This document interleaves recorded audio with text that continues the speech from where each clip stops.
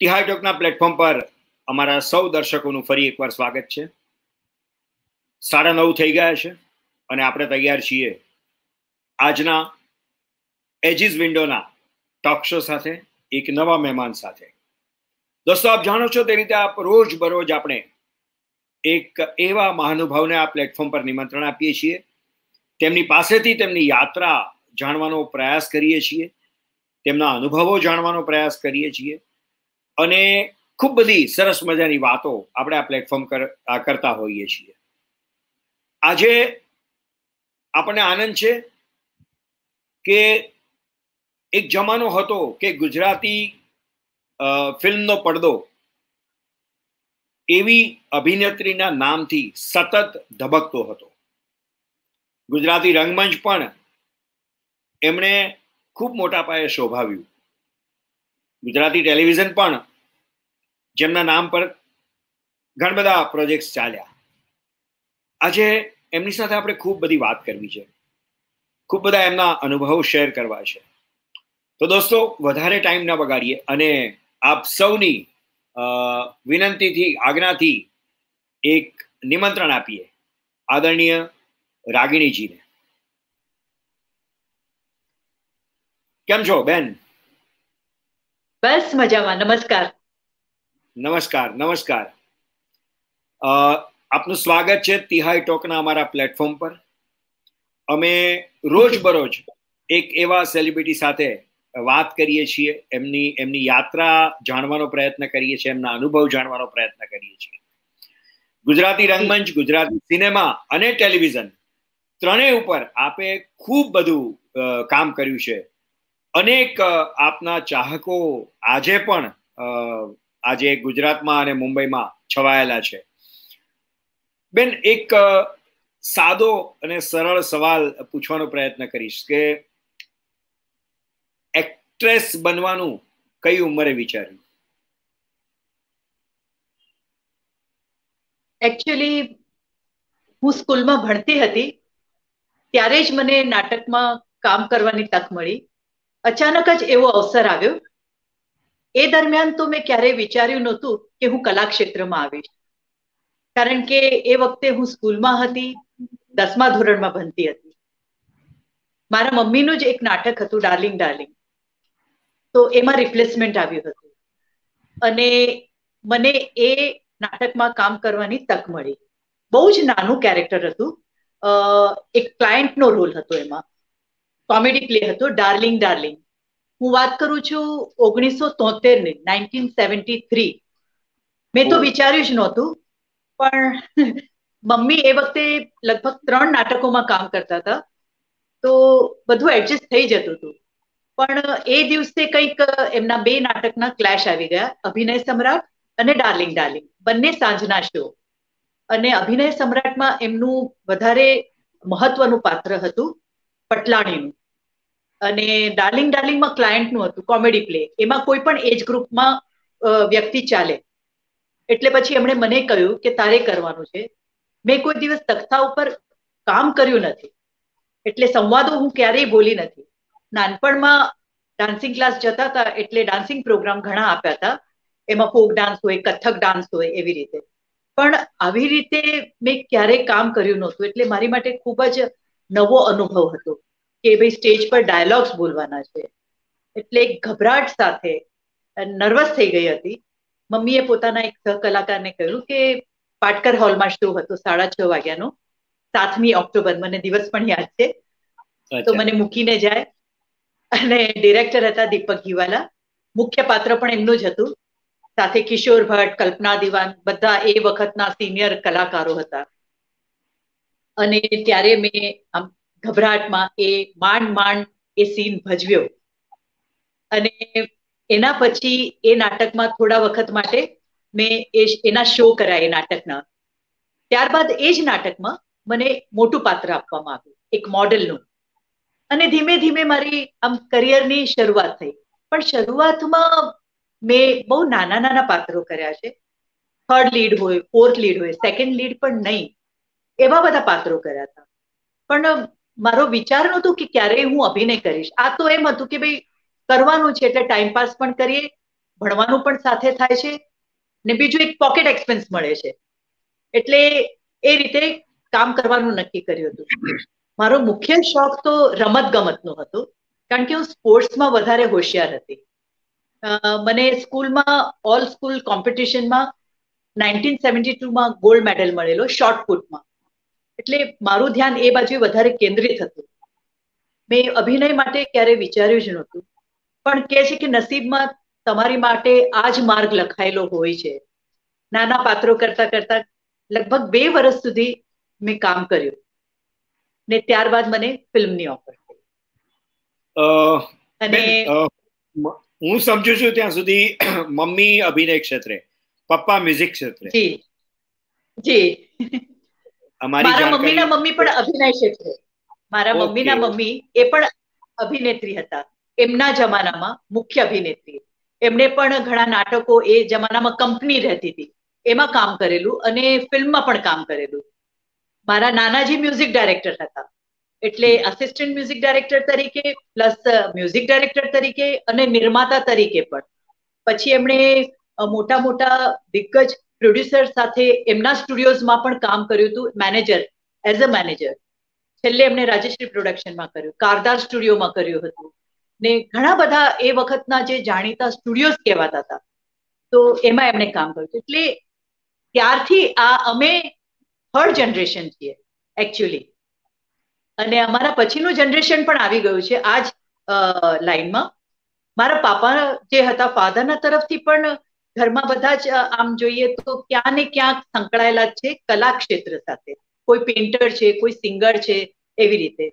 મારા ફાધરના ફાધર પણ સિંગર હતા પણ પ્રોફેશનલ નહોતા. એ દેરાસરમાં અને એવી રીતે ગીતો ગાય પણ બધાને સંગીતમાં રુચિ. એટલે આમ કહીએ તો આ કળા અમને ગળથુથીમાં જ મળેલી છે. એક્ઝેક્ટલી હું એ જ કહેવા જતો હતો કે કલાકારી તમને ગળથુથીમાં મળી છે એવું કહી શકીએ આપણે. જી. હું ન ભૂલતો હોઉં તો આપની પહેલી ફિલ્મ ડાકુ રાણી ગંગા. જી જી. કે ના એ પહેલા કઈ ખરી?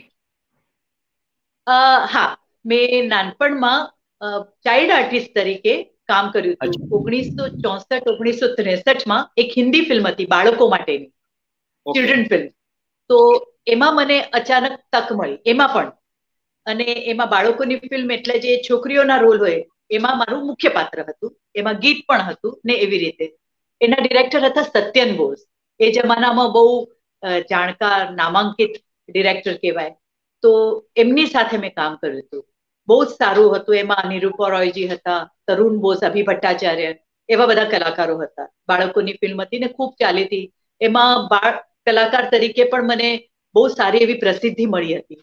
પણ ત્યારબાદ પેરેન્ટ્સે ના પાડી કે સ્કૂલમાં શિક્ષણ બગડે છે, રજાઓ પાડવી પડે છે, એટલે પછી બંધ કરી નાખ્યું. સેવન્ટી ફાઈવમાં ડાકુ રાણી ગંગાથી મારી ફિલ્મની કારકિર્દી શરૂ થઈ. એ પહેલા તો બે વર્ષ મેં નાટકોમાં જ કર્યું. ને મુખ્યત્વે હરકિશનભાઈ મહેતાની જે નવલકથા હતી, એટલે એક નાટક મેં કર્યું તરસ્યો સંગમ. એ એમની જ નવલકથા પરથી એ જ નામે બન્યું હતું નાટક. એમાં મેં કામ કર્યું. એમાં મને સારું પાત્ર હતું જસ્મીનનું. ત્યારબાદ મેં નાટક કર્યું ઓગણીસો પંચોતેરમાં જ. અમારું હતું ડોક્ટર રોશનલાલ ઉપરથી હિમ અંગારા નાટક બન્યું હતું. તો એ પણ હરકિશનભાઈની જ નવલકથા. એમાં મારું શ્યામલીનું પાત્ર હતું ને એ બધા જ સિનિયર કલાકારો એની વચ્ચે એ મારું પાત્ર ખૂબ વખણાયું. બધાના પાત્રો તો હતા જ બહુ સારા પણ મારું એ બધામાં હું ક્યાંક ધ્યાનમાં આવી. કે આ એક સારી કલાકાર છે. ત્યારબાદ મને હરકિશનભાઈની જ નવલકથા રવા પલટાયો. એના પરથી ડાકુરાણી ગંગા બની આ ફિલ્મ એકચ્યુઅલી એમાં બીજા માટે એ લોકો પ્રયત્ન કરતા હશે કે અપ્રોચ કરતા હશે, પણ વાત નહોતી બનતી. પણ હનીભાઈ છાયા એમણે કહ્યું કે બીજા કોઈ કલાકારને લેવા કરતા કે અપ્રોચ કરીએ છીએ, એના કરતા તમારા જ નાટકમાં હરકિશનભાઈને એમણે સજેસ્ટ કર્યું. તમારા નાટકમાં જે છોકરી છે રાગીણી તમે એને જ અપ્રોચ કરો ને, કારણ કે ન્યૂ કમરને આપણે બ્રેક આપીશું, તો એક એક કલાકારને બ્રેક મળશે. બીજું, એમને કોઈ ઇમેજ નથી, કોઈ ડેટ્સના પ્રોબ્લેમ નથી. એટલે આપણે આપણી રીતે એ વ્યક્તિને વાળી શકીશું. એટલે એ હિસાબે એ લોકોએ મને અપ્રોચ કર્યો. ત્યારે પણ મારે એ વખતે હું ફર્સ્ટ યરમાં ભણતી હતી. એસએસસી જસ્ટ પાસ કર્યું હતું ને એવી રીતે. હા, ના, પાડતા પાડતા છેવટે મેં એક ફિલ્મ કરી. મેં કીધું કે હું એક જ ફિલ્મ કરીશ, મારે આગળ કરવી નથી. મારે ભણવું છે, કારણ કે મને ભણતરમાં વધારે રુચિ હતી. કે મારે ખૂબ ભણવું હતું, ભણવામાં બહુ ઇન્ટરેસ્ટ હતો સ્પોર્ટ્સમાં ઇન્ટરેસ્ટ હતો, એટલે મારે એ બાજુની કારકિર્દી લેવી હતી. પણ એક ફિલ્મ કરીને મેં કીધું, હું આગળ નહીં કરું, તો કે પછીનું આપણે જોઈશું. પણ આ એક ફિલ્મ કરી લે.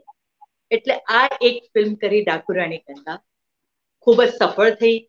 ઘણા અવોર્ડ્સ મળ્યા એને. એમાં મને શ્રેષ્ઠ અભિનેત્રીનું ગુજરાત રાજ્ય તરફથી એવોર્ડ મળ્યો. ત્યારે પછી મને સમજાવી કે જો કોઈ સારી ફિલ્મ આવે, તો કર. ગમે તે ફિલ્મ નહીં કરતી, કે એક પછી એક ફિલ્મની ઓફર તો આવવા જ માંડે તમારી પાસે. તો કેમ કે, કારણ કે નવો ફેસ હોય એટલે લોકોને એમ લાગે કે ભાઈ પ્રોડ્યુસર્સને કે ભાઈ આપણે એમને અપ્રોચ કરીએ. ફ્રેશ ફેસ મળે. પણ મેં બહુ સિલેક્ટ કરીને જ ફિલ્મો કરી છે. જેમ તેમ મેં કોઈ ફિલ્મ સાઇન નહોતી કરી એ સમયે પણ. ને એ દરમિયાન મેં નાટકની પ્રવૃત્તિ ટૂંક સમય માટે બંધ કરી નાખી. રાગીણીબેન તમે અગાઉ વાત કરી એ પ્રમાણે તમને સ્પોર્ટ્સમાં રુચિ હતી. તો તમારી સ્કૂલિંગ દરમિયાન કે તમારા કોલેજ કાળ દરમિયાન તમારી એક ઇમેજ બોયઝ પ્રકારની હોય એવું મને લાગે તમારી વાત ઉપરથી. Am I right or wrong right absolutely right કારણ કે સ્પોર્ટ્સમાં સ્કૂલમાં કોલેજમાં તો મને એટલું ભાગ લેવા નહોતું મળતું. મેં ભાગ એટલો બધો નહોતો લીધો. કારણ કે બાય ધ ટાઈમ હું નાટકોમાં અને ફિલ્મમાં વ્યસ્ત થઈ ગઈ હતી. કારણ કે ડાકુરાણી ગંગાને ડાકુરાણી ગંગાનું શૂટિંગ શરૂ થઈ ગયું હતું. પણ સ્કૂલ દરમિયાન એ વખતે લંગડી હોય ખોખો હોય શોર્ટપુટ હોય એમાં ભાગ લેતી હતી. હું સ્કૂલમાં હંમેશા રેકેટ લઈને જતી ટેનિસ રમવા માટે. એટલે આવા બધી આ બધી જે પ્રવૃત્તિ હતી એમાં હું વધારે ભાગ લેતી હતી. સ્કૂલમાં પણ હતું કે સંગીત નૃત્યના ક્લાસીસ હતા પણ મેં ક્યારે એ વિશે વિચાર્યું જ નહોતું. મને બસ સ્પોર્ટ્સમાં જ વધારે ઇન્ટરેસ્ટ રહ્યો હતો. એટલે જ્યારે મેં ડાકુરાણી ગંગા કરી એમાં રાઇડિંગ મને આવડે છે નાનપણથી. કારણ કે હોલિડેઝમાં અમારા પેરેન્ટ્સ અમને લોકોને હંમેશા માથેરાન લઈ જાય શ્રીનગર લઈ જાય એટલે રાઇડિંગ ખૂબ કરાવે. પછી મને ટ્રેકિંગનો બહુ શોખ છે એડવેન્ચરનો શોખ છે. એટલે આ બધું નાનપણમાં ખૂબ કરેલું. એટલે રસ એમાં જ વધારે હતો. ઠાકુરાની ગંગામાં રાઇડિંગ કરવાની હતી તો મને તો આવડતી જ હતી રાઇડિંગ કેમ કરવું? એમાં નવી ટેકનિક શીખવાની હતી. એટલે ઇન્ટરેસ્ટ એમ હતો કે નવી ટેકનિક શીખવા મળશે. ઉપરાંત ફાઇટ એ પણ કરવાનું હતું એટલે એ મને શીખવા મળશે. ઇન્ટરેસ્ટ એ બાજુનું વધારે હતું. એની સાથે સાથે ફિલ્મ પણ કરવાની છે. એટલે એ રીત, એ વખતે એક યુવતીની જે માનસિકતા હોય એ ઉંમર પ્રમાણે એ પ્રમાણે હું વિચારતી હતી કે મને રાઇડિંગ છે ફાઇટ છે એ બધું શીખવા મળશે નવું. ને સાથે સાથે એક્ટિંગ તો હું કરું છું હું કરી લઈશ એવી રીતે. એટલી સિરિયસ હું નહોતી. તમારી તમારી જે ઇમેજ હતી અને ઇમેજ પરથી તમે કદાચ પહેલી ફિલ્મ તમને જે મળી એમાં તમને કોઈ રોમેન્ટિક ફિલ્મ કે એવું ન કરી અને સીધી મારધાડ વાળી ફિલ્મ કરવામાં તો આ બધી ઇમેજ તમારી એમાં કામ આવી એવું આપણે સમજી શકીએ. હાજી હાજી કારણ કે જ્યારે એ ફિલ્મ રિલીઝ થઈ ત્યારે બધા જે બીજા પ્રોડ્યુસર્સ હશે, એમણે એમ પણ કહ્યું કે આ તો ટોમ્બોય છે. એ તો બીજા રોલ ના કરી શકે, આવા જ પ્રકારના રોલ કરી શકે. પણ બન્યું એવું કે મને બીજી જ ફિલ્મ મારી પાસે ઓફર થઈ, એ લવ સ્ટોરી આવી, રાણો કુંવર કરીને. તો, એ ફિલ્મ મેં કરી. એના ડિરેક્ટર હતા અરુણ ભટ્ટ. તો એ ફિલ્મ મેં કરી. એટલે પાછું બધાને લાગ્યું કે આ તો જે ટાઈપની પહેલી ફિલ્મ કરી, એના કરતા ટોટલી કોન્ટ્રાસ્ટ ફિલ્મ કરી. લવ સ્ટોરી લૈલા મજનુ શિરી ફરહાદ ટાઈપની સ્ટોરી સમહાવ અમુક સંજોગોના કારણે એ ફિલ્મ લગભગ પોણા ભાગની બનીને અટકી ગઈ હતી. ખબર નથી કઈ ટેકનિકલ રીઝન હતા કે શું પ્રોબ્લેમ હતું. ને પછીથી રિલીઝ થઈ પણ બહુ મોડી રિલીઝ થઈ, જેથી કરીને એનો ઇમ્પેક્ટ જતો રહ્યો. પણ ત્યારબાદ દાદાઓ દીકરી મેં કરી. એમાં અગેન મારું જુદું ક્યારેક્ટર કે દાદાઓ દીકરી એટલે આખો અગેન મેજર કોન્ટ્રાસ્ટ કહેવાય. જી જી. તો મારા ડાકુરાની ગંગા કે કે સાહેબ હાજી કે કે સાહેબ હતા કૃષ્ણકાંતભાઈ એના ડિરેક્ટર પછી રાણો કુંવર અરુણ ભટ્ટ હતા. દાદાહુ દીકરીમાં હની છાયા હતા. પછી એ પછી મેં અમે પરદેશી પાન કરી તેમાં મહેશ દેસાઈ કરી ડિરેક્ટર હતા. બધા ડિફરન્ટ ડિફરન્ટ કેરેક્ટર્સ મને એ દરમિયાન મળ્યા. ને શરૂઆતમાં જ. એટલે મારી કોઈ એવી ઇમેજ ના બંધાય કે હું ટોમ્બોય છું. એટલે હું આ ટાઈપના હા હાજી હાજી. દાદાઓ હા દાદાઓ દીકરી તમે જે કરી અને એમાં જે કેરેક્ટર કર્યું એમાં એટલે ઇમોશનલ આખી વાત હતી. અને એટલે જે તે સમયના સમયની વાત હતી કે સાસરિયામાં જે રીતે દુઃખ પડે ને એ અને એ સ્ટોરી અને હું માનું છું કે દાદાઓ દીકરીમાં પણ કદાચ ડાકુરાણી ગંગા કરતા પણ વધારે સારી રીતે લોકોએ તમને સ્વીકાર્યા. હાજી હાજી. કારણ કે એકદમ ટોટલી કોન્ટ્રાસ્ટ હતું. બીજું સાસરિયાનો સાસુનો માર ખાવો એટલી પ્રેમથી લાડથી ઉછરેલી છોકરી સાસરે જઈને એની કેવી હાલત થાય છે કઈ રીતે સાસુ એને ટ્રીટ કરે છે અને કઈ રીતે સહન કરે છે જેથી દાદાને એટલે એટલું ઇમોશનલી ને એ વખતના આ બધા સળગતા પ્રશ્નો પણ હતા. તો એ વસ્તુને જ્યારે રજૂ કરીને એનું ટાઇટલ સોંગ એટલું આજના સમયમાં પણ એ એટલું જ પ્રખ્યાત છે. જ્યારે પણ વાગે છે ત્યારે. આજે પણ હોય તો ઘણા લોકો એ ગીત સાંભળીને આંખમાં આંસુ આવી જાય છે લોકોના. એટલે એ એટલી ફેમસ થઈ હતી ફિલ્મ તો ખરેખર ડાકુરાણી ગંગા પછી તરત દાદા હો દીકરીની ઇમેજ મારામાં આવી ગઈ કે ભાઈ આ આ ટાઈપના રોલ પણ કરી શકે છે. ને એ ફિલ્મ પણ ખૂબ જ સફળ થઈ હતી. ને મને એની માટે થઈને ઘણો એડવાન્ટેજ મળ્યો કે હું કોઈ એક ઇમેજમાં ન બંધાઈ ઘણા બધા આજે એવું ઓડિયન્સ છે કે જેને દાદા હો દીકરી ટાઇટલ સાથે ઘણા બધા કન્ફ્યુઝન હજી પણ છે. એ લોકો દાદા હો દીકરી સાથે બોલે છે. એકચ્યુઅલી દાદા પછીનો કોમા બહુ અગત્યનો છે મારી સમજણ. દાદા દીકરી બોલે છે ને હો દીકરી એ દાદા બોલે છે. આખી વાત. જી જી એ એ ટાઇટલમાં પણ બંને બંનેના સંવાદ છે. આખી વાત. જી. વાગડમાં વાગડની વધ્યા એટલે એ ઘણાને અત્યારે એના એ શબ્દ સાથેના કન્ફ્યુઝન છે પણ મૂળ વસ્તુ આ છે. રાગીબેન તમે નસીબદાર જેવી ફિલ્મ પ્રોડ્યુસ પણ કરી તમે અને દીપકભાઈએ. હાજી હાજી એના નિર્માતા. એ નિર્માતા તરીકેની પહેલી ફિલ્મ કે એની પહેલા તમે કોઈ કરી? ફિલ્મ તો પહેલી હતી અમારી નિર્માતા તરીકે ગુજરાતી ફિલ્મ. એ પહેલા અમે લોકો એક સિરિયલ પ્રોડ્યુસ કરી હતી ગુજરાતીમાં અમર વારસો કરીને. અમર વારસો ગુજરાતી સિરિયલ કરી હતી. પણ ફિલ્મ અમારી પહેલી હતી. ને ઈચ્છા હતી અમને કે કંઈક સારું કંઈક કરીએ કંઈક ડિફરન્ટ સોશિયલ કરીએ. કારણ કે એવું નહોતું કે ગુજરાતી સોશિયલ ફિલ્મો નથી બનતી. એ વખતે ફોક લોકકથાઓ ઉપરથી પણ ફિલ્મો બનતી હતી અને સામાજિક ફિલ્મો પણ બનતી હતી. આજે એ બધાને જુદા નામે લોકો ઓળખે છે. પણ, એ રીતે અમને લોકોને હતી ને સબ્જેક્ટ બહુ સારો મળ્યો હતો. ને ઈચ્છા હતી કે ભાઈ કરીએ ને. કે કે સાહેબ સાથે કામ કરવું હતું. અરે, એ વખતે અમારા ડિરેક્ટર હતા કિશોર વ્યાસ. કિશોર વ્યાસે એ ફિલ્મ ડિરેક્ટ કરી હતી. તો બહુ જ એ ખૂબ જ સફળ થઈ. એ ફિલ્મ ખૂબ જ સફળ થઈ. એના ગીતો, ફિલ્મની વાર્તા, કલાકારો, એ વખતના બધા જ એમ કહીએ ને કે ટોપના કલાકારો હતા. ને ફિલ્મ એટલી સરસ બની હતી. એક પોઝિટિવ એટમોસ્ફિયર હતું. ને કરવાની પણ મજા આવી. ખૂબ આનંદ થયો.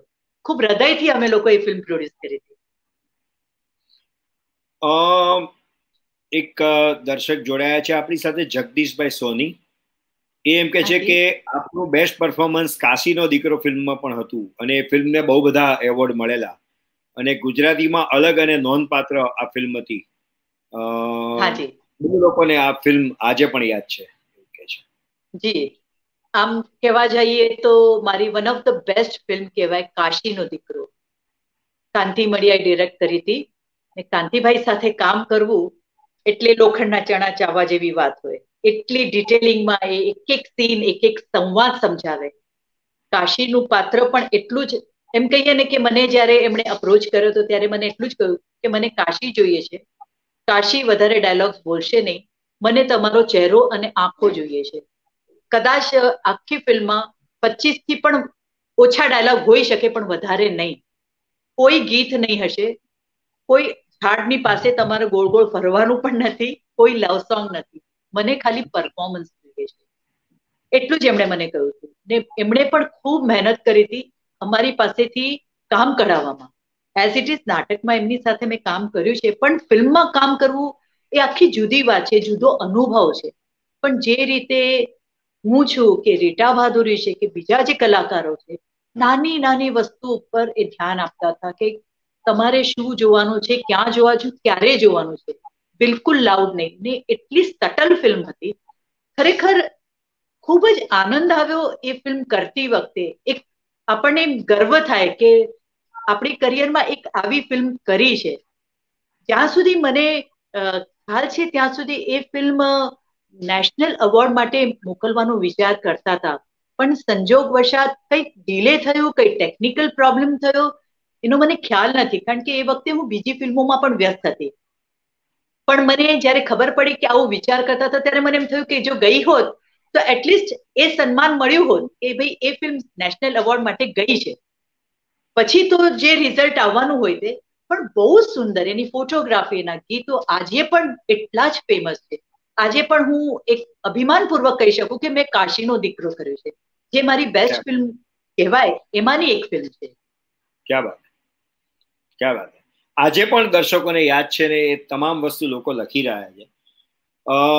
રાગણીબેન આમ લગભગ અંદાજ કરીએ તો કેટલી ફિલ્મો, ગુજરાતી ફિલ્મો તમે કરી લગભગ એ સમયના હિસાબે લગભગ છ કે સાત વર્ષ જ કામ કર્યું છે ગુજરાતી ફિલ્મ ઉદ્યોગમાં.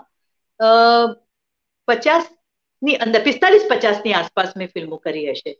એમાં એક રાજસ્થાની પણ કરી કારણ કે બે લેંગ્વેજમાં એ ફિલ્મ બની રહી હતી ભાભીના હેત કરીને. અને એક મેં ભોજપુરી ફિલ્મ કરી હતી.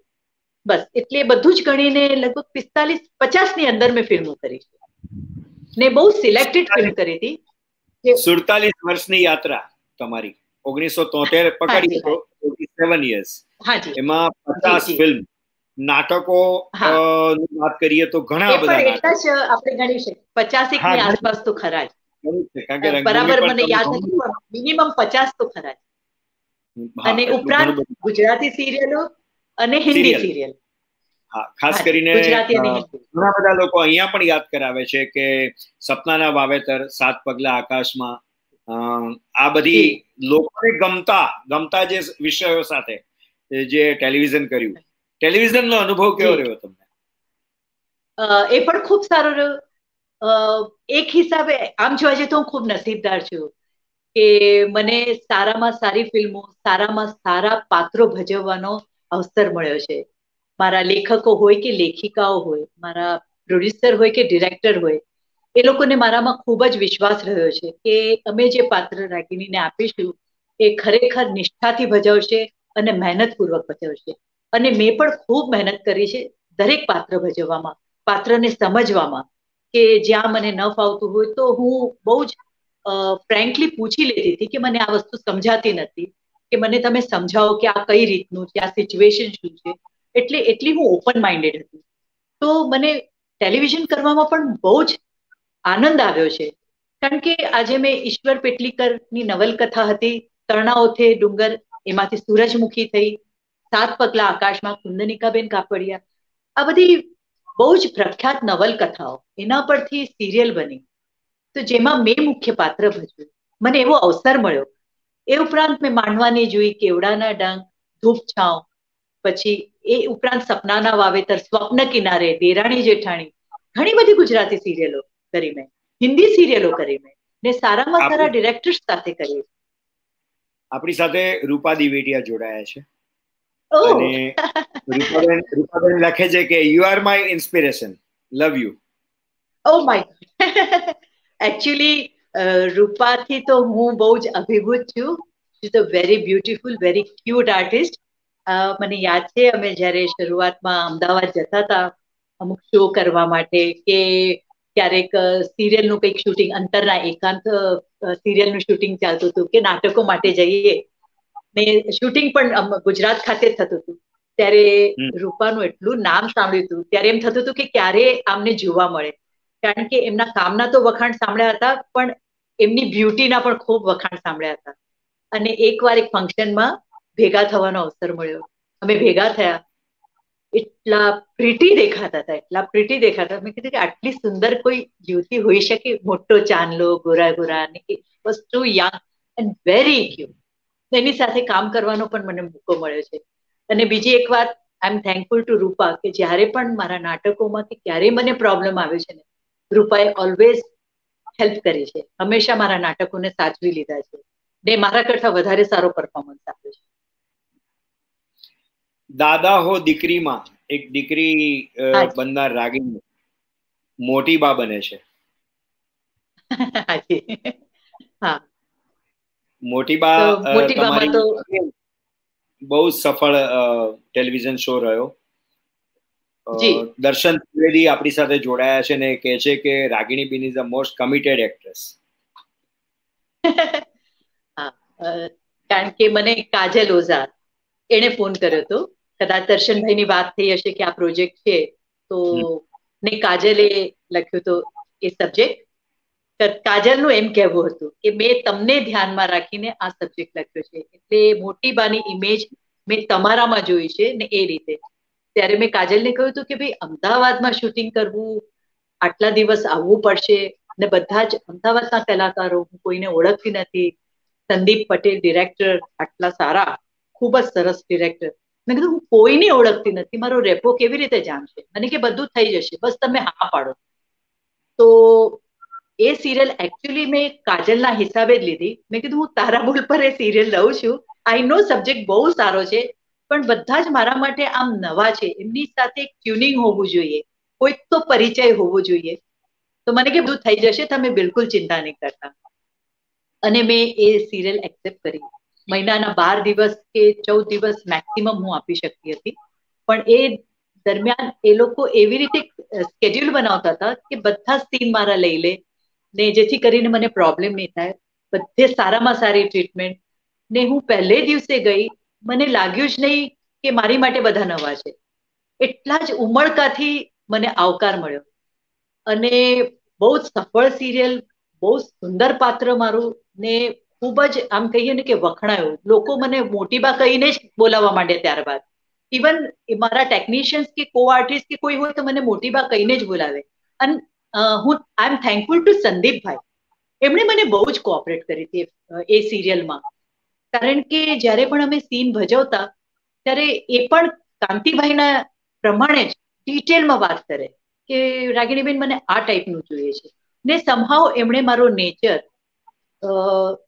કદાચ એમને ખબર પડી ગઈ છે હું કયા પ્રકારની છું, કઈ રીતે કામ કરું છું. તો એ પ્રમાણે મારી પાસેથી એટલું આમ એટલી સરળતાથી કામ લઈ લેતા હતા કે ખબર જ ન પડે. ઘણીવાર બે ત્રણ આર્ટિસ્ટોનો સીન હોય ને એમને લાગે કે નહીં, મારે વન આર્ટિસ્ટ સીન કરવું છે, ફક્ત એક જ આર્ટિસ્ટ તો મને આવીને સમજાય કે, રાગીણીબેન, એમ લાગે છે કે આમાં તમે જ એકલા કરો તો આ બધાની, આ બધા પાત્રોની જરૂર યોગ્ય નથી કે આપણે બધાને લઈએ. એમ કરીને એ આખો સીન ક્યારે મારી પાસેથી આમ કરાવી લે, હું ભજવી પણ લઉં, એટલી સરળતાથી કામ કરતા હતા. અને બીજી એમની ખાસિયત હતી કે સીન દરમિયાન એ મ્યુઝિક વગાડે. અને મ્યુઝિક કાનમાં પડે ને તો તમને એક ટાઈમિંગ મળે કે ઇમોટ કરવા માટે બે ડાયલોગ્સની વચ્ચે ઇમોટ કરવું છે કઈ કરવું છે તો એટલા ધીમેથી મ્યુઝિક હોય તો મારા કાન હંમેશા સરવા રહેતા હતા કે સંદીપભાઈ મ્યુઝિક વગાડે છે કે નહીં? ને એકોર્ડિંગલી હું મારી મુવમેન્ટ્સ લઉં એકોર્ડિંગલી હું રિએક્ટ કરતી હતી. અને એની હેબિટ પાડી દીધી હતી એમણે મને. એક વખતે એમણે મ્યુઝિક ના વગાડ્યું તો હું અટકી ગઈ ચાલુ શોર્ટમાં તો મને કે શું થયું? મેં કીધું તમે મ્યુઝિક નહીં વગાડ્યું. તો મને કે મને થયું તમને ડિસ્ટર્બ થશે. મેં કીધું આજ સુધી નથી થયું તો હવે તમે નહીં મ્યુઝિક મોડેથી મ્યુઝિક વગાડતા હતા. નહીં વગાડો તો હું ડિસ્ટર્બ થઈશ. એટલે પ્લીઝ તમે આવું નહીં કરતા. પણ ખરેખર એ સિરિયલ મારી વન ઓફ ધ બેસ્ટ કહેવાય. ખૂબ આનંદ આવે. એના પછી મારા ખ્યાલથી મેં ગુજરાતી કોઈ સિરિયલ કરી જ નથી. કારણ કે આટલા સારા પાત્રો ભજ્યા પછી નથી ગમે તે પાત્રો ભજવવા યોગ્ય નથી લાગતા મને. હેમંત નાણાવટી અમારા પ્રતિભા કો આર્ટિસ્ટ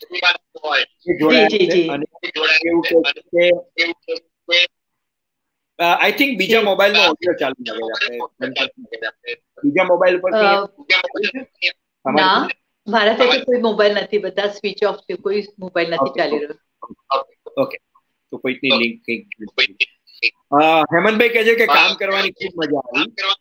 દર્શન ત્રિવેદી એવું કે છે કે આ શો માટે હા ના પડ્યો તો આ શો ના કરે એ તો જોઈશું ભવિષ્યમાં. મીના ઘીવાલા લખે છે. મીનાબેન જોડાયા છે મીના ઘીવાલા. કે મોટી બાબા રાગી સિવાય બીજાને ઇમેજિન ના કરી શકાય. So nice offer thank you producer એ પણ આપને હલ્લો કહે છે. હા હાય રાગીણીબેન? હાજી. એક સવાલ પૂછવાની ઈચ્છા થાય છે. હાજી. રંગભૂમિમાં આટલા કામો કર્યા. સિનેમાના આટલા કામો કર્યા. ટેલિવિઝન કર્યું. બે હજાર સાતમાં તમને એક વિચાર આવ્યો કે ગુજરાતી ફિલ્મ ઇન્ડસ્ટ્રી પંચોતેર વર્ષ પૂરા કરે છે અને એને આપણે ઉજવવું છે અને એનું નેતૃત્વ તમે લીધું. અને તમે એક અદ્ભુત અભૂતપૂર્વ કાર્યક્રમ મુંબઈમાં ભવન કરી તમામ લોકોને ભેગા કર્યા. જી જી જી. ઈશ્વર કૃપા છે કે મને એક સદબુદ્ધિ આપી. કારણ કે અભિલાષભાઈ એવું છે ને કે મા બાપે નામ પાડ્યું રાગીણી. પણ મારી ઓળખ મને ગુજરાતી ફિલ્મ ઉદ્યોગે આપી છે. પહેલા તો હું નાના નાના પાત્રો કરતી હતી. ડાકુરાણી ગંગાથી હું ગુજરાતી ફિલ્મ ઉદ્યોગમાં આવી. ત્યારબાદ સારામાં સારો પાત્ર ભજવ્યા. કેટલા અવોર્ડ્સ મળ્યા છે ગુજરાત સરકાર તરફથી. બીજા બધા રોટરી ક્લબ લાયન્સ ક્લબ ઘણા એવોર્ડ્સ મળ્યા છે મને. જે કંઈ પણ એના પછી ફરી હું જ્યારે નાટક લાઈનમાં આવી ત્યારે મુખ્ય પાત્ર ભજવતી થઈ ગઈ. એટલે નાના પાત્ર ભજવતી એક વ્યક્તિ જેના ઉપર લોકો વિશ્વાસ રાખવા લાગ્યા ને તમને મુખ્ય પાત્ર સેન્ટ્રલ કેરેક્ટર આજે હું જે કંઈ પણ છું, હું ગુજરાતી ફિલ્મ ઉદ્યોગને કારણે છું. મને નામ, પ્રસિદ્ધિ, પૈસા તો એક બીજી વસ્તુ છે, તમને મળવાનું છે.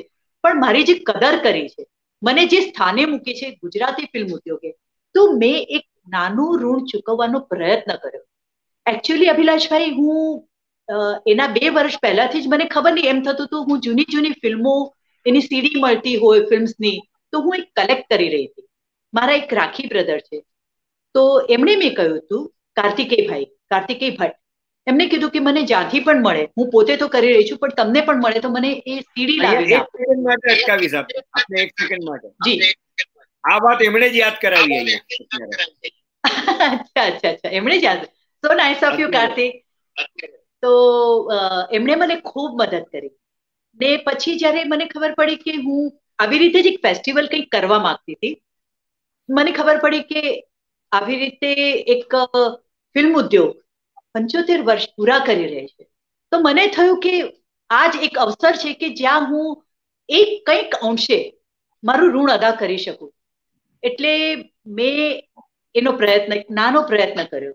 મેં માહિતી ખાતામાં વાત કરી. કે મને આવી રીતે એક કંઈક તમે મદદ કરી શકો. પછી કારણ કે દીપકભાઈ એમણે ડોક્યુમેન્ટરી એક શૂટ કરી હતી. દીપક બાવસ્કર.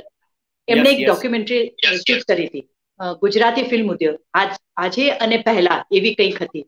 ને ખૂબ જ એ તમે ડોક્યુમેન્ટરી જુઓ તો તમને આંખમાં આંસુ આવી જાય. તો મને થયું કે શરૂઆત મારે જે શુભારંભ કરવો છે એ ડોક્યુમેન્ટરીથી કરવું. કે ગઈકાલે શું ઉદ્યોગ હતો ને આજે ક્યાં છીએ? એ વચ્ચેનો ગાળો પંચોતેર વર્ષ દરમિયાન ફિલ્મ ઉદ્યોગ ક્યાંથી ક્યાં સુધી આવ્યું છે? તો મારે એ વસ્તુ લોકો સમક્ષ લાવવી હતી. મેં માહિતી ખાતામાં વાત કરી. બધાએ મને ખૂબ સપોર્ટ કર્યો કે રાગીણીબેન, તમારે પૂછવાની જરૂર નથી ગમે ત્યારે તમે આ ડોક્યુમેન્ટરી દેખાડી શકો છો. અને જ્યારે મેં એ એની ફેસ્ટિવલ નક્કી કર્યું, તો ભવન્સ કલ્ચરલ સેન્ટર અંધેરી, એમણે મને ખૂબ મદદ કરી કે આપણે સાથે મળીને કરીએ. કારણ કે એમની પાસે થિયેટર ને બધું જ હતું. તો એ લોકોએ મને મદદ કરી. માહિતી ખાતાએ ખૂબ મદદ કરી. ને જ્યારે મેં એ અને મેં નરેન્દ્રભાઈ મોદીને એનું આમંત્રણ આપ્યું હતું ત્યારે સીએમ હતા. બહુ જ નાના જ સમય દરમિયાન મેં એટલે બહુ ટૂંકો ગાળો હતો ને મેં એમને એમને કાગળ લખ્યો હતો કે ભાઈ હું આવી રીતે એક પ્રોગ્રામ કરી રહી છું એક ફંક્શન કરી રહી છું ગુજરાતી ફિલ્મ ઉદ્યોગ માટે. તો તમારા આશીર્વાદ તમારા બેસ્ટ વિશે જોઈએ છે. ને જો તમે ઉપસ્થિત રહી શકો હવે તમે અઠવાડિયા પહેલા સીએમને કહો તો પોસિબલ નથી. કારણ કે એમના કેટલા બધા કમિટમેન્ટ હોય. છતાં છતાં એમણે મને એટલું સુંદર નિમંત્રણ કાર્ડ જે હતું એની શુભેચ્છા મોકલી. એમના ફોટોગ્રાફ સાથે એમના સિગ્નેચર સાથે ઓટોગ્રાફની સાથે જેને મેં ખાસ મારા ફંક્શન દરમિયાન ત્યાં પહેલું મૂક્યું હતું. કે એક આનંદ થાય તમને કે તમે જે કરી રહ્યા છો એની કોઈએ કદર કરી એને કોઈએ નોટિસ કરી. અને એ મારો જે કાર્યક્રમ હતો ખૂબ જ સફળ થયો ખૂબ જ સફળ થયો. એમાં હનીભાઈ છાયા નિરંજન મહેતા બધા જ ને મેં ખાસ એ કાર્યક્રમ કર્યો હતો મારા ટેકનિકલ કસબીઓ માટે. આર્ટિસ્ટોને બધા જ જુએ છે અભિલાષભાઈ. બધા જ. પણ પાછળ જે મહેનત કરે છે એની લોકોને ખબર નથી હોતી કે એ લોકો તમને રજૂ કરે છે. આજે ડિરેક્ટર છે, મ્યુઝિક ડિરેક્ટર છે કોરિયોગ્રાફર છે, સિનેમેટોગ્રાફર છે, એડિટર્સ છે, પબ્લિસિસ્ટ છે, ને લેખકો, આ બધા જે મહેનત કરે છે, એ લોકો નથી ખાસ દેખાતા, આર્ટિસ્ટ દેખાય છે. તો મારે એ લોકોને માન સન્માન આપવું હતું. એટલે ખાસ એ લોકોને મેં હું બોલાવતી હતી, ખાસ. ને એમનું સન્માન કરતી હતી. કે જે લોકો હયાત છે, નથી તો એમના સગાવાલા આવે. ને તમે નહીં માનો, મને એટલો સારો અનુભવ થયો છે હોલ તો પેક થઈ જતો હતો. અમે બાર વ્હાઇટ સ્ક્રીન લગાડતા હતા. એ પણ ઓવર પેક રહેતી ને લગભગ અઠ્યાવીસ ફિલ્મે બતાવી હતી. ને બધી ખૂબ જ સફળ રહી. ને ત્યાં જે પ્રેક્ષકો આવતા હતા, દર્શકો, ઘણા લોકો તો ગીતો માગે કે બેન, અમને ગીતો આના કંઈક કેસેટ બનાવીને આપો કે કંઈક આપો. અમને આની સીડી કોપી કરીને આપો. એવી રીતે. એમની આંખોમાં જૂની ફિલ્મો જોઈને ખૂબ આનંદ આવતો ઘણી ફિલ્મ તો મેં પણ જોઈ નથી કે આટલી સુંદર ફિલ્મ એ ગાળાની. ઓગણીસો બત્રીસ એટલે લગભગ મને બત્રીસની તો એકદમ ફિલ્મ નહોતી મળી. એના પછી ભક્ત સુરદાસથી મેં શરૂઆત કરી હતી. એમ કરતા કરતા હું બે હજાર પાંચ સુધી આવી. ને બહુ જ સફળતા મળી અને લોકોના ખૂબ મને આશીર્વાદ મળ્યા. મને ખબર છે કે ગુજરાતી ફિલ્મ ઇન્ડસ્ટ્રી કોઈ પણ ઘટના હોય તો તમારી એમાં હાજરી હોય તેની. દર્શન ત્રિવેદી યાદ કરાવે છે કે ગુજરાતી ફિલ્મ ફેટર્નિટીની પહેલું એકેડેમિક એક્ટિવિટી જે અમદાવાદ એલજી કોલેજમાં થઈ. એમાં આખી ઇન્ડસ્ટ્રીને ભેગો કરવાનો પ્રયત્ન કર્યો છે દર્શન. એમાં પણ તમે હાજર રહ્યા. હું બને એટલા પ્રયત્ન કરું છું કે ગુજરાત ખાતે કોઈ પણ કાર્યક્રમ હોય કે કંઈ પણ હોય બને ત્યાં સુધી હું હાજરી આપું છું. હું એમ થાય છે મને કે ગુજરાતે મને આટલું બધું આપ્યું છે તો હું થોડું કંઈ ન કરી શકું. તો એ એમ થાય છે કે હું મારા પૂરા પ્રયત્ન કરું છું કે હું ક્યાંક કંઈક મદદરૂપ થઈ શકું ક્યાંક જઈ શકું. જેથી કરીને એમને લાગે કે કે તમને એક સફળતા મળ્યા પછી તમે બદલાઈ ગયા છો કે ના હું હજી એ જ છું.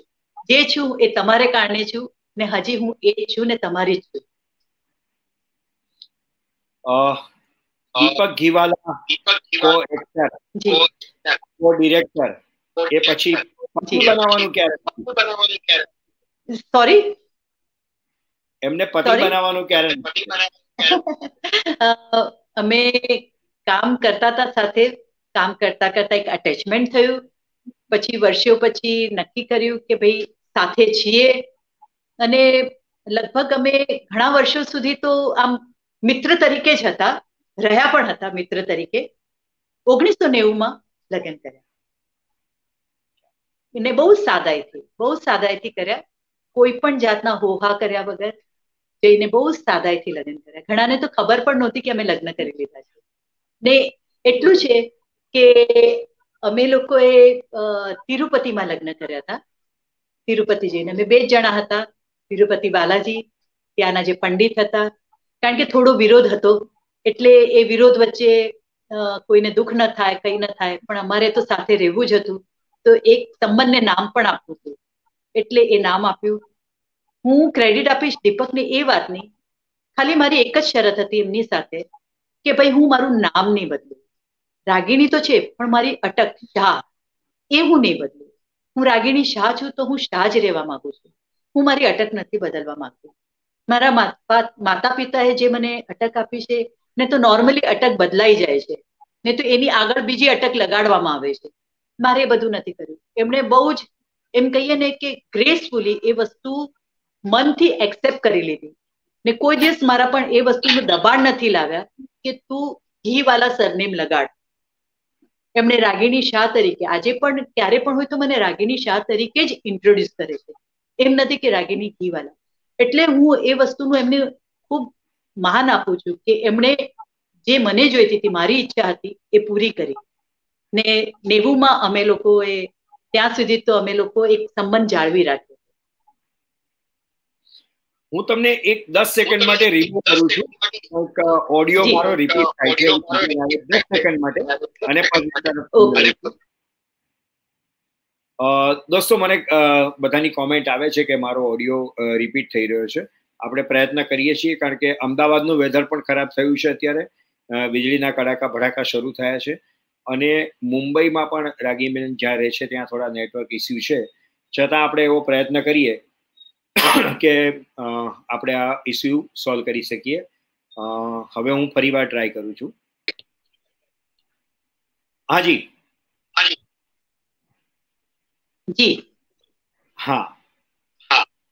મને લાગે છે કે મને લાગે છે કે વાતાવરણને કારણે ઇસ્યુ ચાલે જી ટેકનિકલ પ્રોબ્લેમ થાય છે. અહીંયા પણ બહુ જ વરસાદ છે. હા વરસાદ અહીંયા પણ એટલે વીજળી ચાલુ થઈ ગઈ છે. એટલે કદાચ એ પરિસ્થિતિ આવે. હું ટ્રાય કરું છું કે હું હેડફોન લઈ લઉં છું. એક સેકન્ડ માટે.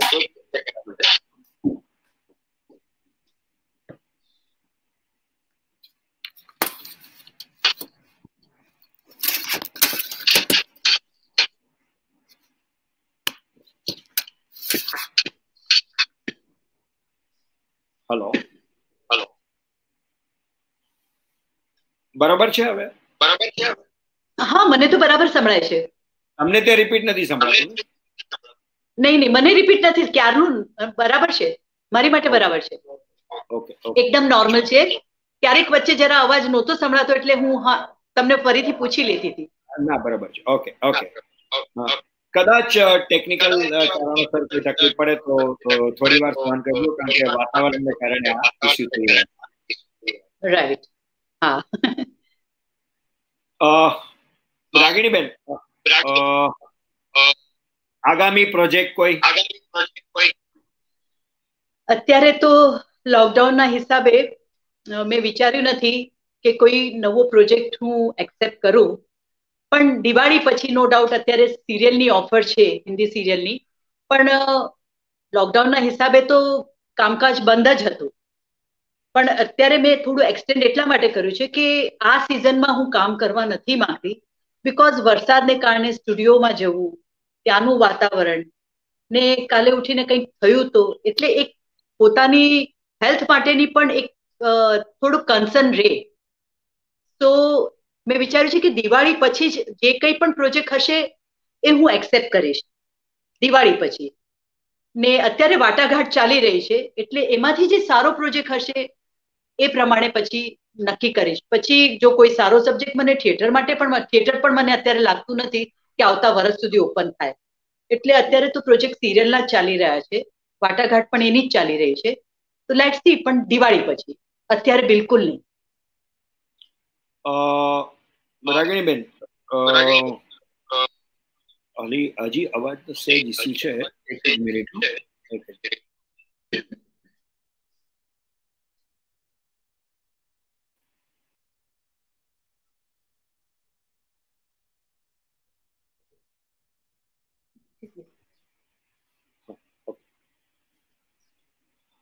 હા જી અ Current- હવે તમને બરાબર ચાલશે વાંધો નથી. ચાલશે વાંધો નથી. અચ્છા. કરંટ ગુજરાતી ફિલ્મ ઇન્ડસ્ટ્રી જે સ્તર પર ચાલી રહી છે. ઘર પર ચાલી જી. અને એ બાબતમાં આપનું શું કહેવું છે? ખૂબ અલગ સોપાનું સર કર્યા છે. અને સારી ઘણી સારી ફિલ્મો જી જી. ઘણી સારી ફિલ્મો આવી રહી છે. ટેકનિકલી બહુ એડવાન્સ થઈ ગયા છે. પરફોર્મન્સમાં ફરક આવી ગયા છે. ઘણા ફરક આવી રહ્યા છે. અને ફિલ્મો સારી બની રહી છે. ટેકનિકલી ઓલ્સો કારણ કે હું જીફામાં પણ one of the final jury member છું. એટલે છેલ્લા ચાર વર્ષથી એટલે ઘણી ફિલ્મો જોવા મળે છે. મુંબઈ ખાતે તો આવતી નથી ફિલ્મ. જ્યારે પ્રીમિયર હોય ત્યારે દર વખતે કોઈ ફિલ્મના પ્રીમિયરમાં જઈ શકાતું પણ નથી. એટલે જીફા દરમિયાન અમુક ફિલ્મ જોતી હોઉં છું હું. ને બેસ્ટ ઓફ ધ ફિલ્મ કેવી હોય છે, શું છે, શું નહીં. થોડો ટ્રેક રાખીએ પણ છીએ. કારણ કે જ્યારે તમે જ્યુરી તરીકે જતા હો, ત્યારે તમને થોડી ખબર તો હોવી જોઈએ. પણ આઈ એમ હેપી કે જે રીતે ફિલ્મો બની રહી છે, સારા સબ્જેક્ટ સાથે, ડિફરન્ટ સબ્જેક્ટ સાથે, જે નવા નવા કલાકારો આવી રહ્યા છે, પૂરી તૈયારી સાથે આવે છે. કોન્ફિડન્સ બહુ છે એ બધામાં. ખાલી મને બહુ જ, આ મારો મત છે. આ હું વિચારું છું કે જ્યારે તમે ગુજરાતી ફિલ્મ બનાવી રહ્યા છો તો વધારે પડતું કોઈ બીજી ભાષાનો ઉપયોગ ના થવો જોઈએ. એટલે કે અંગ્રેજીનો. ગીતોમાં પણ અંગ્રેજી તમે લાવો, બોલવામાં પણ ડાયલોગ્સમાં પણ લાવો. ગુજરાતી છો તો મારા ખ્યાલથી નેવું ટકા ગુજરાતી રાખો ને. આપણી પાસે સારા સારા શબ્દો છે. ને ભાષા જરા વધારે સારી હોવી જોઈએ. એવું મને લાગે સરળ રાખો. આજના હિસાબે સરળ ભાષા ગુજરાતી હોવી જોઈએ. પણ હું ભાર જરા ગુજરાતી ભાષા પર વધારે મૂકું છું. કારણ કે મેં નોટિસ કર્યું છે, આ ચાર વર્ષ જે ફિલ્મો જોઈ, તો અંગ્રેજીનું પ્રમાણ વધારે વધારે વધી જતું હતું. ગીતોમાં પણ લાવે. સારી છે, એ વાત સારી છે, પણ જબરજસ્તી શું કામ? ન જરૂર હોય તો ન હોવું જોઈએ.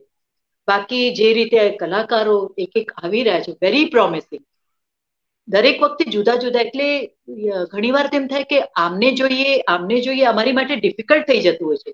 ફિલ્મના સબ્જેક્ટ કેટલા સારા સારા આવે છે. ને કલાકારો જે રીતે કામ કરે છે, જે રીતે ટેકનિકલી ફિલ્મો બને છે, ખરેખર ખૂબ સારી બને છે. એટલે એક જાતનો આનંદ આવે છે કે આપણી ઇન્ડસ્ટ્રી ધીરે ધીરે આગળ વધી રહી છે. આજે નેશનલ એવોર્ડ પણ મળ્યો છે ફિલ્મને. એટલે કહીએ કે ભાઈ આ રીતે ફિલ્મ એ લેવલની બની રહી છે. વચ્ચે જે ડાઉનફોલ આવ્યો હતો હવે પાછી ફિલ્મો સારી બની રહી છે. ને હજી વધારે સારી બનશે. એટલે લાઈક જેમ રેવાને અવોર્ડ મળ્યો હેલારોને મળ્યો વર્ષો પહેલા ઘણા વર્ષો પછી એ વસ્તુ આવી છે. આટલી સારી ફિલ્મ બની છે. મેં રેવા મેં થોડી જોઈ પણ હેલારો મેં જોઈ ને મુંબઈમાં મેં ઓડિયન્સમાં જોઈ. હું પ્રીમિયરમાં નહોતી ગઈ. મારે ઓડિયન્સ રિએક્શન જોયું તો જ તમને ખરી ફિલ્મ ખબર પડે કે લોકોનું ઓડિયન્સ રિએક્શન શું છે. ને એ પણ મુંબઈમાં જોઈ હતી. એટલે મુંબઈના લોકો શું વિચારે છે ફિલ્મ માટે? તો એ હિસાબે મેં ફિલ્મ જોઈ હતી. રેવા ફિલ્મ પણ મેં થોડી મિસ કરી કારણ કે મારો શો હતો એટલે હું પૂરી નહોતી જોઈ શકી. એ ફિલ્મનો સબ્જેક્ટ પણ બહુ સારો હતો.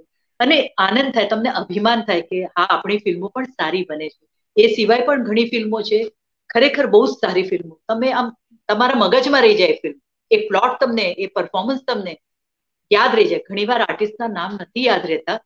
ખ્યાલ નથી રહેતો, કારણ કે એટલા ટચમાં લોકો નથી હોતા. કેટલા બધા નવા આર્ટિસ્ટો આવે છે.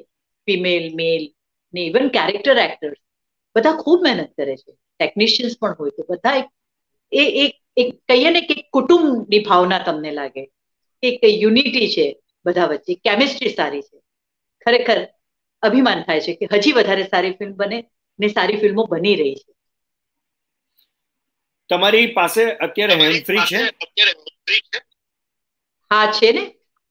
લગાડી દો ને મોબાઈલ લગાડી દો. ઓકે તો આ પ્રોબ્લેમ સોલ્વ થઈ જશે હા. આપણે પ્રયત્ન કરીએ છીએ. તમારા બધાની કમ્પ્લેન હું વાંચી રહ્યો છું. પણ સમહાવ ડીલે ચાલી રહ્યું છે. એટલે હેન્ડ ફ્રીનો ઉપયોગ થાય તો એ આપણે જોઈ લઈએ. પણ અભિલાષભાઈ મારો અવાજ તો સંભળાય છે ને? તમારો અવાજ ક્લિયર છે? ઓકે પણ તમે એન્ટ્રી લગાવી દો ના ના ના તમારો અવાજ ખાલી મારા અવાજનો ઇસ્યુ છે કે રિપીટ આવે છે? ઓ ઓ. એટલે તમે એન્ટ્રી લગાડી દેશો ને એટલે એ નહીં આવે. લગાડી દો વાંધો નહીં.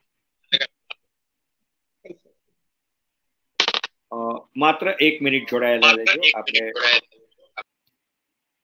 રાગીણીબેન એન્ટ્રી લગાડી દે અને હું માનું છું કે જ્યાં સુધી હું ઇસ્યુ સમજ્યો છું ત્યાં સુધી એ પ્રોબ્લેમ સોલ્વ થઈ જશે એન્ટ્રી લગાડવાથી.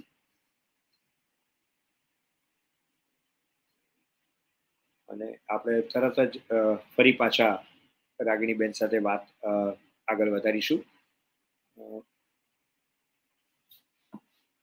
માત્ર દસ સેકન્ડ ત્રીસ સેકન્ડ આપણી સાથે જોડાયેલા રહેજો. અને ઇસ્યુ સોલ્વ થશે, જેની મને ખાતરી છે.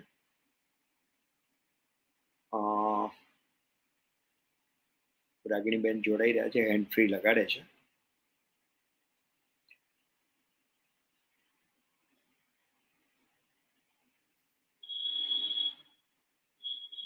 રાગીણીબેન જોડાય એટલી વખત આપ, જોડાયેલા રહેજો. તરત જ એ ઇસી સોલ્વ થશે? એ રિમૂવ થયા છે અને તરત જ હમણાં જોઈન્ટ થશે આપણી સાથે. દોસ્તો આપ જાણો છો તે રીતે આપણે રોજ બરોજ અલગ અલગ આ પ્રકારના કલાકારો સાથે, કસબીઓ સાથે મ્યુઝિક રિલેટેડ લોકો સાથે વાત કરતા હોઈએ છીએ અને તેમના અનુભવો, તેમની યાત્રા, તેમના ઉતાર ચઢાવ, તેમને લાઇકિંગ ડિસલાઇકિંગ આ બધું જ નજીકથી જાણવાનો પ્રયત્ન કરીએ છીએ. અને મને આનંદ એ વાતનો છે કે અનેક લોકો આ કાર્યક્રમ રસથી માણે છે, જુએ છે. અને સતત સાડા નવ વાગે એ લોકો મારી સાથે જોડાઈ જાય છે, જેનો મને ખરેખર આનંદ છે. જ્યારે શરૂ કર્યું, ત્યારે એક એવો ઈરાદો હતો કે આપણે ટાઈમ પાસ માટે આ શરૂ કરીએ. પરંતુ એ પછી જે પ્રકારે રિસ્પોન્સ મળ્યો એ પ્રકારે લોકો પછી જોડાતા ગયા. અને રાગીણીબેન બસ આપણી સાથે જોડાઈ ગયા છે ફરી વખત અને આપણે બસ એમને લઈ લઈએ. ઓકે. હવે ઓકે છે. હાજી દર્શક મિત્રો હવે હું માનું છું કે રિપીટ નહીં સંભળાતું હોય. આપમાંથી કોઈ પણ એક કોમેન્ટ કરજો જો ઓડિયો ઓકે હોય તો તો અમને વાત કરવાની વધારે મજા આવશે ને થોડીક અનુકૂળતા પણ રહેશે. યસ રાગીણીબેન. આપણે વાતને આગળ વધારીએ. આજે રંગમંચ ટેલિવિઝન અને ફિલ્મ આ ત્રણ ઓફર સાથે આવે છે તમને. તો તમારી પહેલી પસંદ શું હશે? હું તો પહેલી પસંદ એવી રીતે કે જ્યાં પાત્ર સારું હશે સબ્જેક્ટ સારો હશે. જો રંગમંચ એટલે કે થિયેટરમાં મને કોઈ પ્લે માટે સારી ઓફર હશે, તો હું સિરિયલ માટે વધારે ઇન્ટરેસ્ટ નહીં લઉં. કારણ કે મારી માટે જરૂરી નથી કે હું સિરિયલ કરું. કોઈ ફિલ્મ મને મારે લાયક મળવી જોઈએ. જે બહુ જ ઓછી હવે જે રીતે બને છે, એમાં મને બહુ ઓછું લાગે છે કે એવા કોઈ પાત્ર આવે. પણ જો ફિલ્મ મળતી હશે તો ડેફિનેટલી વિચારીશ જરૂર એ માટે. પણ જો નાટક કોઈ સારું મળ્યું ને પાત્ર બહુ સારું હશે, તો મારી માટે એવું નથી અભિલાષભાઈ કે સિરિયલ હોય તો હું એ બાજુએ જાઉં. કારણ કે ઘણા એમ વિચારતા હોય કે સિરિયલ ચાલતી હોય, તમે લોકોની સામે વધારે હો પોપ્યુલર થાય, તમારા પર ડે વધે છે, તમને પૈસા વધારે મળે છે. નાટક કરતા ઘણા જ પૈસા વધારે મળે છે. છતાં હું પાત્ર ઉપર જઈશ કે મને કયો સબ્જેક્ટ ગમે છે મારું પાત્ર શું છે અને એ પ્રમાણે જ હું નિર્ણય લઈશ. કારણ કે હું એટલી પ્રોફેશનલ પણ નથી કે પૈસાની પાછળ ભાગું. હું શોખથી કામ કરું છું. ને મને જ્યાં સારું લાગે છે આનંદ આવે છે મને એમ લાગે કે નહીં આ વસ્તુ કરવા જેવી છે. જેનાથી એમાં પણ સફળતા મળે છે તમને માન સન્માન મળે જ છે. પછી બીજી વસ્તુ ગૌણ થઈ જાય છે. રાગીણીબેન એન્ટરટેનમેન્ટ ફિલ્ડ ખાસ કરીને ફિલ્મની દુનિયા માટે ઘણી બધી જાત જાતની વાતો આવતી હોય છે. અને એ વાતોની વચ્ચે એક અભિનેત્રી એક સફળ અભિનેત્રી તરીકે તમે એક તમારી પોતાની સ્પષ્ટ ઇમેજ બનાવી રાખી છે આજ દિન સુધી. બરાબર? હા. હાજી તમે જે વાત કહી કે એક ઇમેજ બનાવીને રાખી છે ઘણે અંશે એ વાત સાચી છે. કારણ કે મેં તમને જેમ કહ્યું એમ મારી ફેમિલી આ કલા ક્ષેત્ર સાથે જ જોડાયેલી છે. જ્યારે હું આ ક્ષેત્રમાં જોડાઈ ત્યારે નાનપણથી તો અમે બધાને જોતા આવ્યા જ છીએ. ફિલ્મના કલાકારો હોય નાટકના કલાકારો હોય મારા ફાધરના હિસાબે બધા સિંગર્સને, લિરિસિસ્ટને, મ્યુઝિશિયન્સને, ઘણાને મોટા મોટા જેમ લતાજી છે, આશાજી છે, રફી સાહેબ છે, મન્નાડેજી, મહેન્દર કપૂરજી, એ singer side, even music director Kalyanji Anandji છે, લક્ષ્મીકાંત પ્યારેલાલ, રવિજી, ને એવી રીતે ગીતકારો પણ. મમ્મીના હિસાબે પણ ઘણા કલાકારોને મળ્યા છે.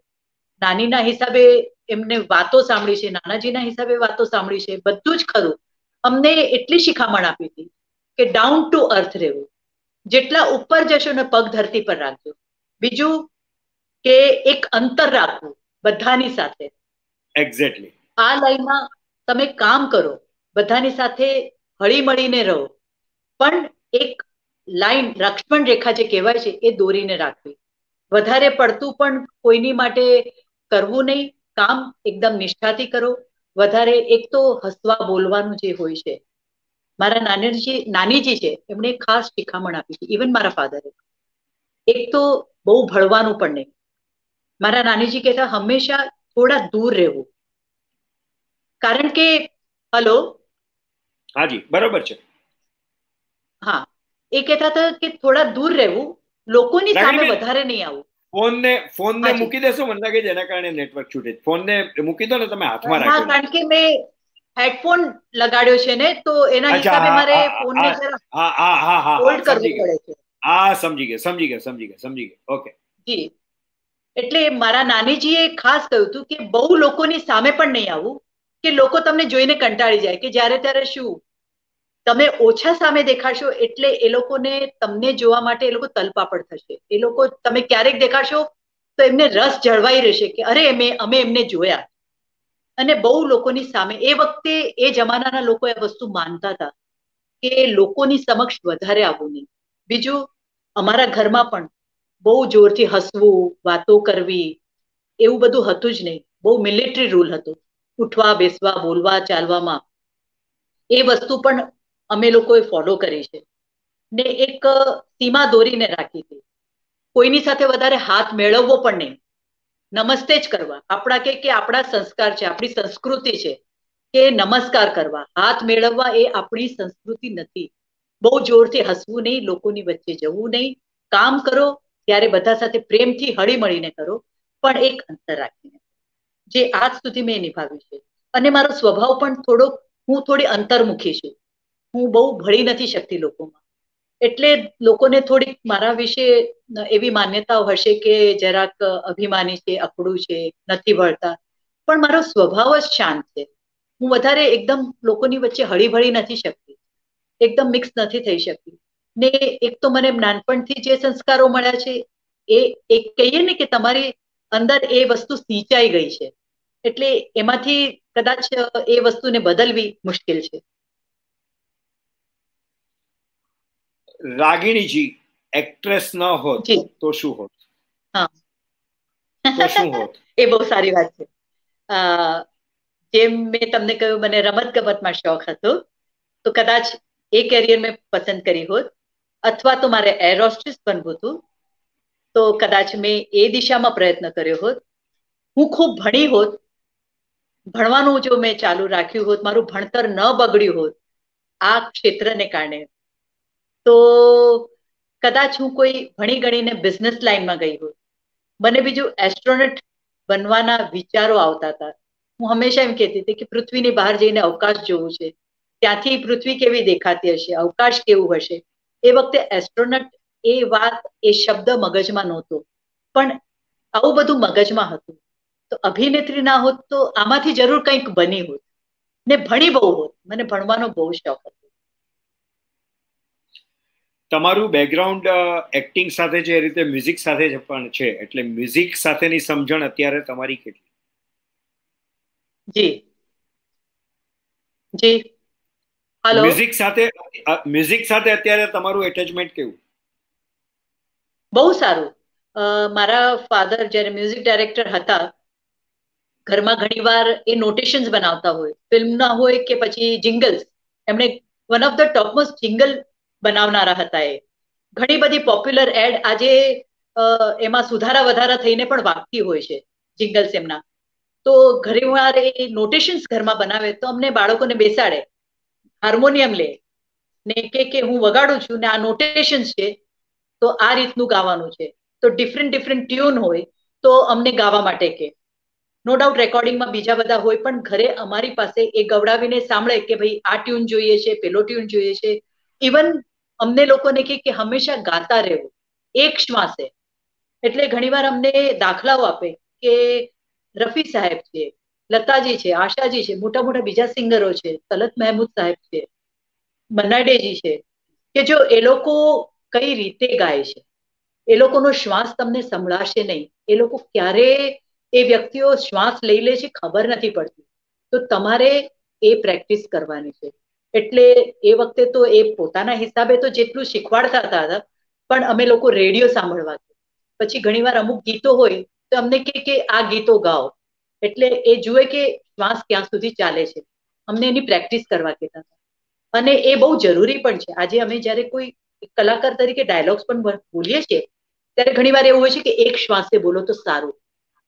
એમાં વચ્ચે બ્રેક નહીં આવવો જોઈએ. ને જો બ્રેક લેવો પણ હોય તો તમે એવી રીતે લઈ લો કે પ્રેક્ષકોને ખબર ન પડવી જોઈએ. એવી રીતે સંગીતમાં પણ. અમને એની ટ્રેનિંગ આપતા હતા. આજની તારીખમાં પણ અમે લોકો ઘરમાં આઈ એમ બાથરૂમ સિંગર કારણ કે એવી કોઈ પછી ટ્રેનિંગ લીધી નહોતી. એટલે ગાતા તો હોઈએ છે ને એટલું છે કે આજે કોઈ પણ ગીત વાગતું હોય, તો એની પહેલું નોટેશન આવે કે પહેલી ધૂન વાગે કે જરાક સાંભળીએ, તો તરત ગીત યાદ આવવા માંડે કે આ ગીત હશે. ને ઘણીવાર એટલા જૂના ગીતો પણ હોય છે કે બહુ જ નાનપણમાં સાંભળ્યા હોય.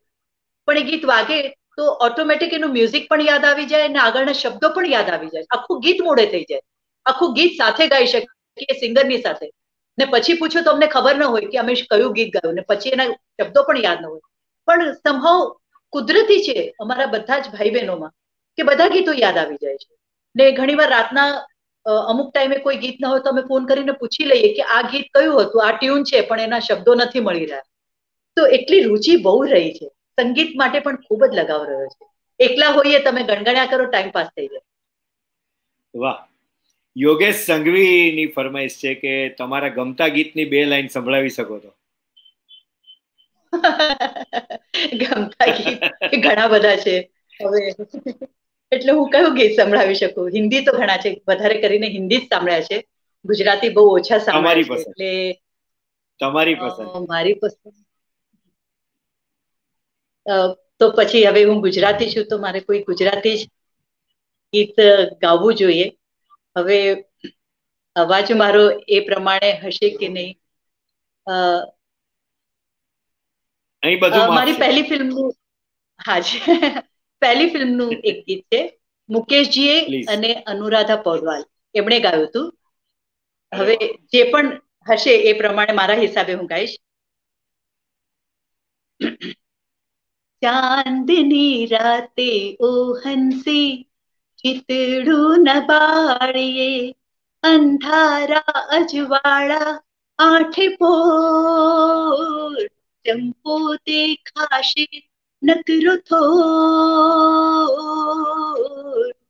સપનામાં જાગી જઈને સાચું ન ભાળીએ ચાંદની રાતે ઓ હંસી ચિતડું ન બાળીએ ચાંદની રાતે કો હંસી ચિતડું ન બાળીએ બસ આટલું જ આવડે છે બહુ બહુ જ સરસ બહુ જ સરસ રાગીણીબેન આપ જાણો છો આપ જાણો છો તે રીતે અમે આ એક પ્રયોગ હમણાં શરૂ કર્યો છે અને અનેક સેલિબ્રિટી સાથે અમે આ પ્રકારની ચર્ચા કરીએ છીએ અમારો આ જે પ્રયોગ ચાલી રહ્યો છે એના માટે તમારી પાસેથી હું બે લાઈન ઈચ્છું છું. તમે જે કામ કરી રહ્યા છો અભિલાષભાઈ ખરેખર ખૂબ જ સુંદર છે ને હજી ખૂબ જ સફળતા મળે ખૂબ આગળ ને મોટા પાયે હજી તમે કરો. જાત જાતના લેખકો કવિઓ કલાકાર દિગ્દર્શક એમને એક પ્લેટફોર્મ મળશે.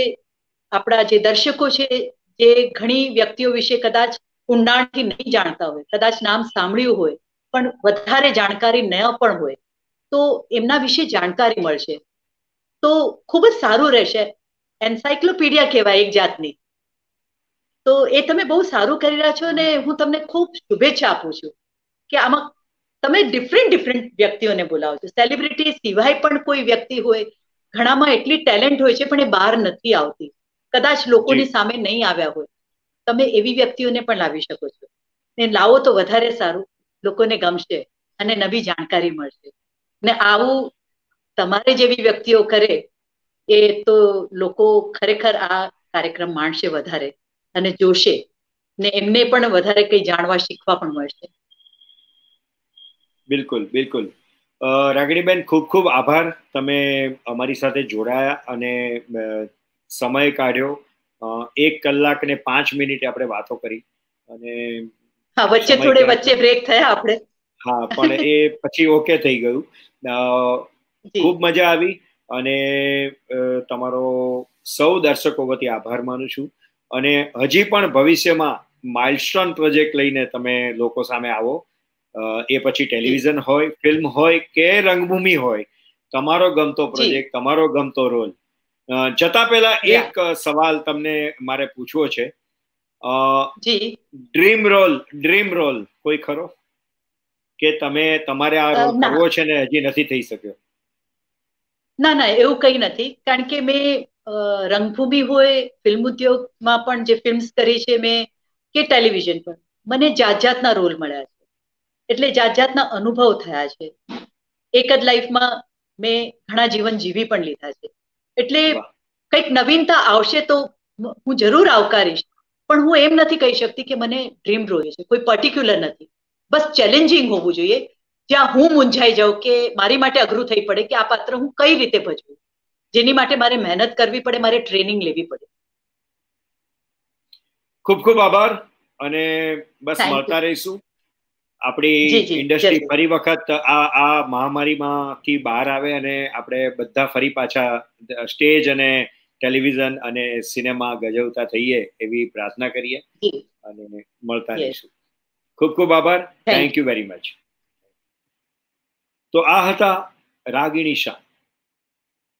ઓગણીસો ને તોતેરથી શરૂ કરીને બે હજાર વીસ સુધી હજી પણ જેમ સ્ટેજ ધબકતા રાખે છે સિનેમાના પડદા ધબકતા રાખે છે ટેલિવિઝનનો સ્ક્રીન ધબકતો રાખે છે અને હજી પણ નવું નવું કરવાની એમની પૂરેપૂરી તૈયારી છે, પૂરેપૂરી મહેચ્છા છે. આપણે સૌ તેમના આગામી ભવિષ્ય માટે, આગામી પ્રોજેક્ટ માટે શુભેચ્છા આપીએ. દોસ્તો, આપ જાણો છો તે રીતે ટિહાઈ ટોકની યુટ્યુબ ચેનલ છે, જેને સબસ્ક્રાઇબ કરવાનું ભૂલતા નહીં, લાઇક કરવાનું ભૂલતા નહીં અને બે લાઇકોન પુશ કરવાનું ભૂલતા નહીં. એ જ રીતે તિહાઈ ટોકનું ફેસબુક પેજ છે, તેને પણ લાઇક કરવાનું આપ ભૂલતા નહીં. આવતીકાલે રાત્રે સાડા નવ વાગે ફરી હાજર થઈશું એક નવા મહેમાન સાથે. ત્યાં સુધી અભિલાષ ઘોડાને રજા આપશો. શુભરાત્રી ગુડ નાઇટ.